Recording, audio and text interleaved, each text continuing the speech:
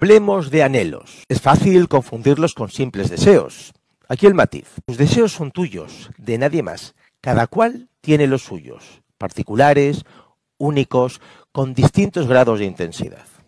Los anhelos no, esos vienen de serie. Son un rasgo humano, como las rayas en los tigres o el espiráculo en los delfines. No puedes elegir no tenerlos, no sentirlos, no actuar para satisfacerlos. Están enraizados en nuestro código genético como especie. Si eres humano, seas Hilder o Jesucristo, compartes los mismos anhelos. Entonces, hay un anhelo que sobresale por encima de los demás y que puede canalizarse bien o mal. Es el que lleva a alguien a escalar el Everest, a optar por dejar de comer carne, a ser un lameculos en el trabajo, a tener rabietas de crío cuando no le hacen caso, a fardar en las cenas familiares, a sacar los tanques en la plaza roja de Moscú, a grabarse un vídeo haciendo el cabra, a poner el logo de su empresa en lo más alto del edificio más alto, propagar su palabra divina. Y cuando, cuando entiendes cuál es ese anhelo y el influjo que ejerce en todo lo que hacemos,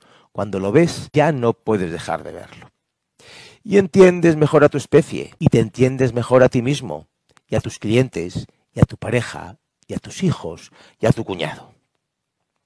Y está bien, ese es el anhelo de crecer, de avanzar, de evolucionar y como te decía, a veces se canaliza o dirige bien y a veces mal y otras muchas sencillamente languidece y se marchita como el amor de tanto usarlo.